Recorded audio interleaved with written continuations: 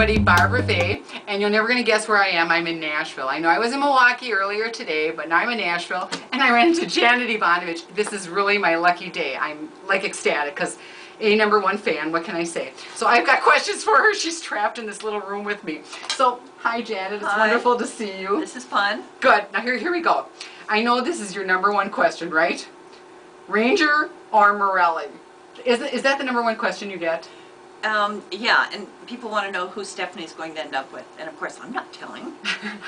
If she, and why does she have to end up with either one? I mean, you could have somebody that- else later, right? That's right. Somebody else could come in. Well, the book that's out now features a guy named Diesel, Oh, who actually is my favorite character, my favorite guy. I think he's a lot of fun, and um, I want to do more Diesel books. Not that Stephanie's going to end up with Diesel. Um, it would be very unlikely, but I think he's a fun element. Well, there's you cannot deny that there was not a lot of fun in your books because they are laugh out loud funny. And I noticed there was a 2003 poll when you first started your polls, and people asked about who would you like for your Valentine, uh, Ranger or Morelli, and it ended up being a tie. Yeah. Now it's uh, six years later. How do you think people feel? It's still a tie. It's still a It- tie. It's about half and half. We get a lot of reader feedback because of the website and, um, you know, the signings that I have, and so many people come out to the signings. So we have a pretty good idea, and it really is about half and half. The difference is that the Ranger people are just a little crazier.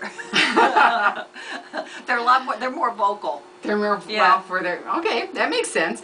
And then I know, I bet you, and I'm guessing the number two question is, when's that dang movie coming out, and, and who do you want to Oh, see in you know, it? don't get me started on the movie. I'm, I would love to see the movie. TriStar owns the movie rights, and they just can't seem to, I don't know, get a product that they like. However, they have just recently hired two screenwriters to do um, a screenplay that might feature Katherine Heigl. Oh, Yeah, that's and exciting. Wouldn't she be? She would be fantastic. I know, I but am, you know- I'm a huge Katherine Heigl fan, so. But what about all those diehard people for years that were, you know, Sandra Bullock, Sandra Bullock, Sandra Bullock? I, by the time this movie's made, she'll be on oxygen. You're right, you're right. There, and there's always somebody new, and, and, and you after you see the person in the character, all of a sudden it become they become that character. Yes, So. I think that's true. I think I think that's a great idea. I love that. I love what you do with your titles. I love that you let your your um, fans name them. Um, I want you to know that for number, I think it was 11, I put in 33, um, uh, 33 that I guessed at, and uh, yeah, you didn't like any of them. Yeah, well, you know, better luck next time. Yeah, I, I, I'm working on that. I'm working on that. Okay, so did you ever think of? I always thought this would be funny because there's so many Stephanieisms and things that she do.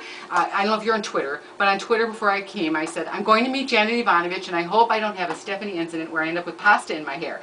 And of course, everybody commented like crazy Right. about that. And um, do you ever think they'd come out with like?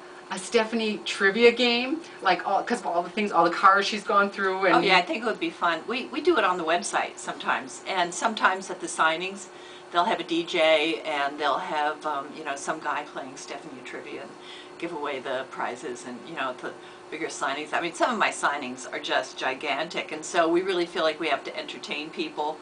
Um, this looks like a little bit more manageable signing. Um, you know. It's like I'm probably the only author around that hopes nobody's going to come to my signing. because, I mean, I signed for six hours last night.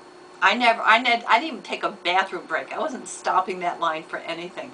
And um, so, you know, requires a lot of Advil and then considerable booze after. Well, yeah, after the camera shuts off, we'll talk about that. Okay, and then um, another thing I love that you did was you did improv. I, I, Yeah. you said that's how you get a lot of your dialogue because like, your dialogue is just amazing.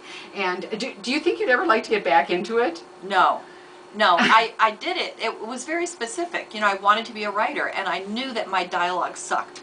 It was very, it was very stiff. But I had a friend who was teaching acting, and she got me into this improv class. Because actors and writers really do very much of the same thing. They create a character and they show it to their audience by pulling out certain gestures and, um, you know, mannerisms and uh, patterns of speech. And so by getting up on stage and walking around and creating dialogue and hearing it, that really was how I learned how to write dialogue. But yeah, no, I, um, I think being an actor is an incredibly hard job. I, I just don't think I could manage that. So a writer is so much easier. Um, well, for, for me. For you, Yeah, okay. not that it's easy. Actually, writing is hard. You know, no matter how fabulous your job is. If, if you do it regularly, it becomes work. Well, we appreciate your hard work, truly, we really do. I just want to ask you quick, Plum Spooky, how come this didn't come out at Halloween? Originally, it was supposed to come out at Halloween, and then um, we decided that uh, we we had done um, the last two books in January that featured Diesel, and we thought maybe that was his spot, and um, we weren't sure if we when when I actually started writing it, it, it, it didn't turn out to be a Halloween book. I just I couldn't. Um, originally, I was writing three little holiday novellas. And then they were so successful that St. Martin's decided to make it into a full-size book. So Plum Spooky is a 300-page book. And when I moved it into the larger format, the um, the holiday theme just um, wasn't appropriate anymore. So we decided to scrap that idea. But we like we like the title. title, so, it yeah, is a great- we the title. it is a great And it's a spooky book. Um, just a quick thing, and this is very personal. My mom is a big fan. My mom's going to be 79 in February next month. She's a huge fan of yours. I have to get large print books for her, but she loves your books. So I was talking to her, and I said, "What do you want me to ask her?" And she said, "Ask her what character you should be." I think she said, "I think you should be Joyce Barnhardt." And I was Oh, like, no. "Mom, Oh, not Joyce Joyce Barnhardt. Barnhardt. Anybody but Joyce Barnhardt." Oh, yeah. But I Oh, was oh, I think it should be Lula. Really Lula. Yeah, yeah, yeah. Attitude. Oh, the attitude. Yeah. See, I was thinking more. Oh yeah, no, get with it, bitch. Get with it. Get with it. because I'm thinking the dad's ex-girlfriend. You know, like you know how the mom's always like hitting the. Uh-huh. Like, what if his old girlfriend came back into the picture? Oh, he's too See, I'm- old for you. Is he oh, really? yeah, yeah, oh no. my God! I didn't think oh, anybody Oh, was too old for me. So oh thank no, you oh, for no, that. we're gonna put you in spandex. I think you need. to- I am definitely. You Yeah. watch for that on the blog because those pictures are coming. Those Yeah, spandex kick pictures. ass. Kick ass. And I love that. And so that's my last question. But I just want you to tell everybody that quick story about your first book signing because I just love it. Oh, well, first book signings, I mean, it was typical. It was, they put you in the middle of a mall in front of a Walden store, and you're at this little card table, and you sit there, and it's just hugely embarrassing. The bookstore owner is embarrassed, you're embarrassed, everybody's embarrassed to look at you because nobody knows who you are, and nobody wants to buy a book. And then finally, some lady comes up to you, and you see her walking all the way down the aisle, and she finally gets to you, and she says, do you know where the ladies' room is? And that's, you know, I love. I just love That's that the classic. Classic story. Yeah. Classic story. Well, you've come a long way from that. Now you're looking for the ladies' room because after six hours, you definitely need it. So I want to thank you for taking the time. I know you've got tons of fans out there who are ready to, you know, strangle me because Yeah, I have you in here. work now. So thanks for taking the time. It was wonderful meeting you. It was great. And you guys all. I hope you enjoyed the uh, video. See you later.